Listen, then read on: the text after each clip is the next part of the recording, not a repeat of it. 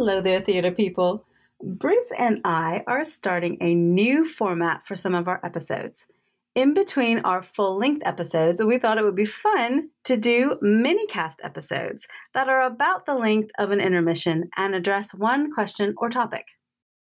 So let us introduce the Thespis Intermission Minicast. Melanie, what is today's question? Live theater is on its way back. What aspect are you most looking forward to? Bruce, what are you most looking forward to? Oh, well, I know for me, I'm looking forward to the process of telling a story on stage. I just, I love the entire rehearsal process, um, developing the whole approach to, to the, the particular uh, piece, fleshing out the, the characters, sitting around the table, talking to the director about uh, how he envisions the production or a, a particular cast member's approach, um, and then getting right in. And, and I just, I do really just enjoy the whole process so I miss that. I mean, some people can't wait for it to to get a production on its legs and get on stage and, and be performing. And, and I love that too. Of course, that's the kind of the the end product. But I do love the whole process of getting to that point because that's also where you, you develop your relationship with your castmates and and also fellow characters as you, as you develop those relationships on stage and also friendships with new people maybe that you haven't worked with before and then ultimately telling this you know whatever the cool story is or musical that you happen to be working on so so I just really, really love the whole rehearsal process about getting a production together. So that's what I miss, and that's what I'm most looking forward to. That's awesome. That sounds good. I get all that. Yeah. I mean, it's the actor approach, I guess, or the actor in me that really likes it. I guess other people will have, of course, a different approach. What about you, Melanie? What do you think? What's, you know, I mean, you're also an actor, but you also look at things from a lot of different perspectives. So, producing perspective, directing perspective. You have a lot more irons in there than I kind of do. So, I'm a little limited. But well, you tell true. me. you, you've worked in theater management. You know what it is to be a producer. Yeah. No, I know. I know what you mean. But tell me, what, what do you miss or what are you looking forward to? Hmm. I am looking forward to having that amazing moment when you're watching a show mm-hmm. and you're just blown away when it's something completely unexpected and it opens your eyes in a new way mm-hmm. and you walk out of that theater a different person from when you walked in. Hmm, okay, cool. Yeah, I mean, I love that too. That the point where you can walk out of a show and eh, you still want to talk about it, and you want to talk mm-hmm. about what you've seen, mm-hmm. and you want to talk about the uh, the characters you've just encountered, and and if it's somebody you know that was portraying a character, it's always kind of cool to say to see it and say, "Oh, gee, I loved how John developed this character and his approach to this," and you know, so yeah, I get that too. Yeah, I look forward to that as well. Yeah. Well, see, now you're you're making me think about that post show discussion, which I love so much that too. So maybe I want to do that. I don't know. Yeah. I don't know what my top choice is because I really love that that post show chat that you have with friends that you've gone to the theater with and who know mm-hmm. theater. So when you go out afterwards and grab a yeah a slice of pie and a coffee uh-huh. or whatever Absolutely. that is, or yep, yep, or yep. a drink if it's late at night and you need a breakfast. It's usually pancakes breakfast? or something. You know, yeah. you yeah. go to the Waffle House. IHOP, yeah, or Waffle House. Yeah. I love that. And when you really analyze the play, sometimes that gets a little critical, but it's also fun. I mean, it's critical in an academic way, and mm-hmm. it, that's exciting for me. I love to see okay, what's working, what's not working, what's right. the story mean ooh, what about that character? How did that work? Yeah, I love well, all, of those stuff. things. I think help. They just help you prepare for the next role that you might be involved in, or the mm. next production you might be involved in because of what you've seen that that worked or didn't work or what have you before you. So it's kind of the all those little things that you've talked about post show are little nuggets that you kind of store away for the next one. You know. Mm-hmm, mm-hmm. Yeah. And that's what I mean. That's what theater should do, right? It should mm-hmm. engage the mind. It should. Yep inspire conversation yeah. and yeah, challenge you and uh, you know and if you're you know if you're involved directly i think in theater it should challenge your your performance or your directing or your designing or your whatever you know mm-hmm. um, it, it should push you to the next level hopefully mm-hmm.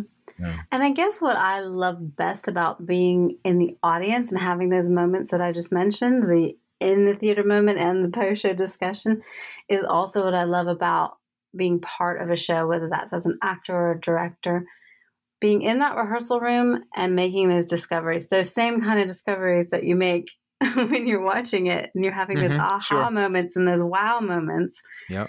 Yeah. You have those in the rehearsal rooms. Oh, that's a good rehearsal. Yeah. I it's funny, that. you know, some people, I mean, and I get, you know, people want to be cognizant of the use of their time when they go to rehearsal and not sit around and, you know, all the kind of, there's always those kinds of discussions when you work with a director that maybe, you know, brings you in and you, you might have two minutes that you're actually working on your role or on your particular scene or that kind of thing. Um, and sometimes that's a little frustrating for some folks. But for me, even that, I, I never seem to mind because I, I want to be there and kind of take in what's happening, you know, with mm-hmm. all the characters, all the people that are in the show uh, that are involved in the production. And it gives you a chance again to build those relationships with people that you wouldn't normally did if you're just kind of wandering in when it's your time and then leaving, you know? Mm-hmm. Um, so I, I think that's probably my, my real draw to theater in general because of that. Um, where I, I, don't have a lot of film experience, but it seems like when you think of film, it's kind of you come in, do your part, and go home. You know what I mean?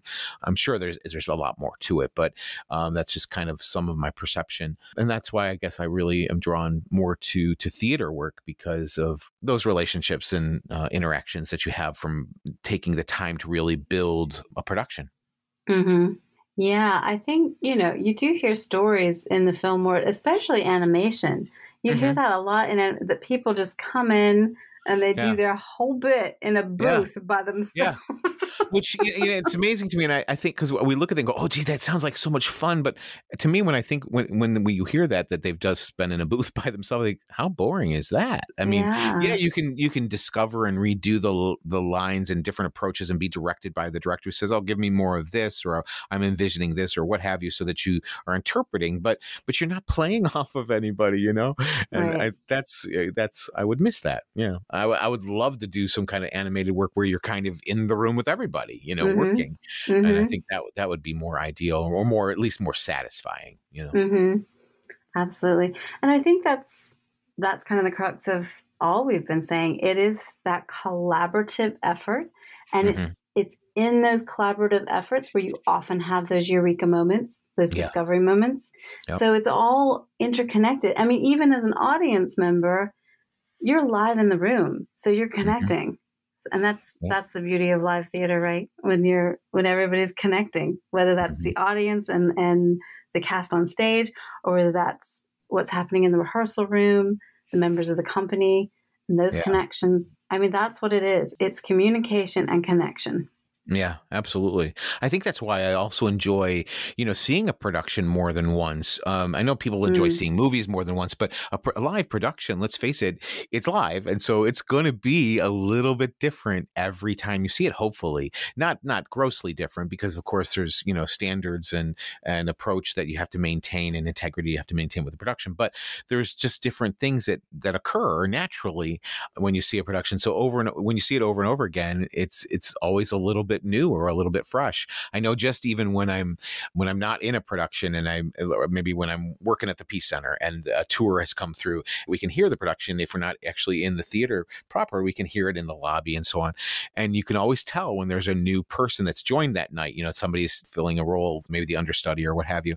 And it's always interesting to hear the differences or the different voice mm-hmm. quality or mm-hmm. what have you. And there's just always a different approach. And so I always I, I enjoy that. So again, it's another aspect of of it being live theater. There's just a little bit more.